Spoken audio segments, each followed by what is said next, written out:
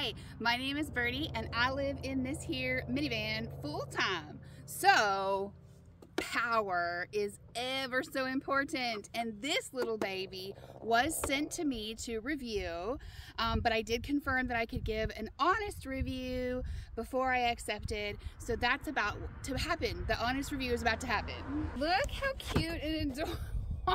It's like a little baby. It's so cute. Okay what else is in here instructions. Very well padded and everything. So it's probably gonna get to you safe and sound. If you're gonna plug it into the wall for the solar panel, which is awesome. And your 12 volt, 12 volts, I think that's right. So you can plug it into your car charger. And this just goes with this. This part gets plugged into that part and then you plug it into the wall. And that's it. That's all that's in the box. So it looks like it's a max of 60 watts that you can actually put in, like with solar or whatever. So that's good to know. And we'll go over the rest of the specifications later, but we've done our unboxing now. So this is the 300, no, the EBL 300. It's rated for 330 watts. Um, the peak is 600 watts. The peak just means um, a lot of things when you first plug them in, there'll be a surge that's like higher than what their wattage is going to be pulling like after the initial startup. And so if you have a 600 peak, it means that like you can have that surge go up to 600 but then it's only going to let it do that for a second. I don't know exactly how long but it'll just let that do that peak just for a second a few seconds and then the wattage of whatever you're using needs to be under 330 watts after the initial peak which can go as high as 600 it can store 288 watts. So it's a lot of numbers but basically, you want to make sure that whatever you're drawing, whatever you're going to plug in, is going to be under 330 watts, and then it will charge, discharge up to 288 hours before you need to recharge it. And actually the manual says that you don't want to really go below 20%, that once you've hit 20% of its capacity, which is 288, I am not a math girl, so you'll have to do the math on that one, but once you get to 20% of that 288, you're going to want to recharge it. Um, and that is actually a better number than a lot of them. A lot of the power stations, like you don't want to go below 50%. So being able to use 80% of the capacity of the battery is actually a pretty good number. So now that we've got the main specs out of the way, let me tell you what I like about it. And thank goodness I actually really did like it. this is my first like request for a review. And I did confirm that it was okay, you know, even if I didn't like it, to be honest about it. But I was really afraid that I wouldn't like it. I didn't want my first review to be a negative one. And thankfully it is a good one. I actually really, really like this little guy. He doesn't hold a lot. So he's not gonna be good for like a main power station if you're living off of power stations as I am but he's amazing for a backup station. And he's amazing if you are just gonna go camping for like a week or a weekend or whatever and you just wanna make sure you can keep your phones charged and your lights charged, kind of low drainage things, amazing for that. But he doesn't hold an awful lot, so you just wanna keep that in mind when you're sort of figuring out whether he's gonna work for you. But even though he doesn't hold a lot, he is actually my current favorite power station because he just works so much better than the ones that I already have. Why am I referring to it as a he? Who knows? Why not? We like to, what's the word? Anthropomorphize? Anthrop anthropomorphize. I can't say it. You know, treat things like they're living beings around here. Why not? It's more fun that way. So my favorite things about this station, number one, it, there's pass-through charging, which is incredibly important. You can charge it while you're discharging it at the same time. Not all power stations do that. If it's something you think you're gonna need, you definitely wanna check into that. It's a very handy feature. Number two, this display. So the display will tell you what your percentage is, and most power stations will do that.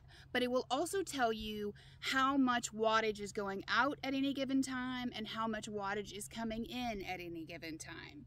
And that is actually a feature that I didn't know was going to be something I cared about when I first started this whole journey. But it is a really important feature and it's very helpful to see, particularly when you plug in your solar panels, how much charge is coming in. So it can tell you if you need to like adjust your solar panels at all to get a better charge. It'll tell you how much is going out. So it's very handy to see how much wattage whatever appliance you're using at the time is actually taking.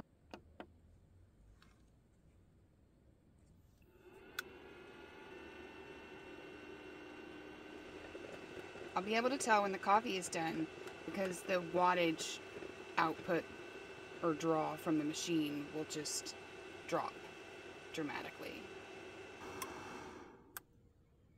See, and there it goes. Okay, now that's actually pretty cool how it goes all the way down to zero watts. Like, does the AC inverter not actually use? Because my other power station, if you just have the AC inverter on, it's using 10 to 12 watts just without even having anything being used on the machine. It's just the inverter is, is drawing that. I don't know if this is an actual correct thing, but I'm going to assume that it is and that it actually, you can have the AC inverter on and it's not automatically charging or using 10 to 12 watts. It only uses watts when it's actually being, you know, when something's actually drawing power from it. That's pretty freaking cool, actually. Point for EBL. And I got myself a nice cup of coffee. So I very much appreciate that about it. I also really like the fact that it has wireless charging. This came in so handy for me when I just went through an issue where my phone was not like recognizing the wire, you know? So I was able to wireless charge it until I could get my my phone in to get fixed, which was kind of a lifesaver for a few days, not gonna lie. I didn't know how handy it would be, but it is very, very handy. Apparently it does not show you the outgoing charge when it's wireless. Just FYI. It also charges pretty quickly. I unfortunately didn't think to record like how fast or time how fast it charged, so I can't give you specific numbers. I do apologize for that. But I can give you guesstimates. Yesterday it was around 76%. I plugged it into my 60 watt uh, solar panels and it only took a couple of hours to get up to 99%, which is fast. I mean, it's fast compared to the ones that I already have anyway. It also has fast charging, like legit fast charging. I think that my phone charges faster on this than anything else, including plugging it into the car car, other power stations, or any of my little power bricks. I don't feel like it went as fast through wireless, but if you do it through the USB-C, very fast charging. It's also very, very portable. It's only like, I think, ah, shoot, I'll have to look at the thing, uh, but I think it's like 13 pounds. No, it doesn't feel like it's 13 pounds. I don't know. I'll have to look at the thing to find out exactly what the poundage is, but it's very portable. It's just a little baby like that TikTok.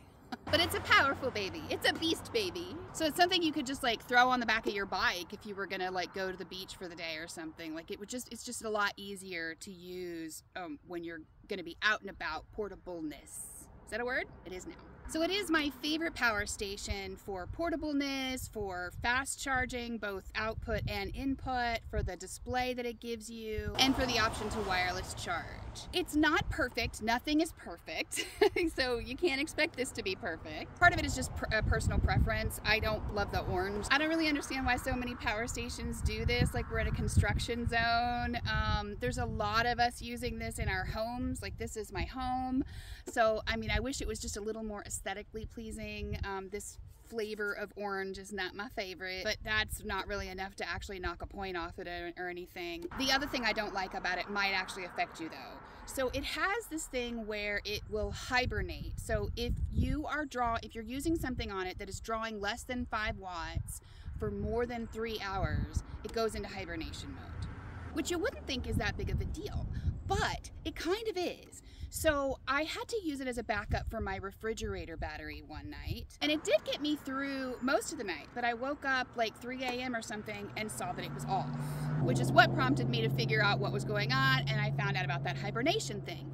So a refrigerator, one of these like uh, camping refrigerators, like 12 volt refrigerators, will not run all of the time what they do is they like i guess the compressor or whatever it is the engine that actually you know makes it cold will turn on get it to a good temperature and then turn off and then just use the insulation factor to keep that cold until the next time it needs to kick on. And so when it's not on when that engine part is not on or the motor or the compressor or whatever the correct word for it is is not on it's not drawing any watts at all. And sometimes that can go on for more than three hours so three hours of the compressor not turning on, which means that there's no wattage being pulled out of here during that time, and it will go into hibernation mode. So like it let's say that the refrigerator needed to turn on at the three and a half hour mark, it couldn't because this has gone into hibernation mode. Additionally, I have a fan that I use every night that only draws about four watts of power. So you turn your fan on at night, you lay down, you think you're good to go for the night, and then you wake up in the middle of the night sweating.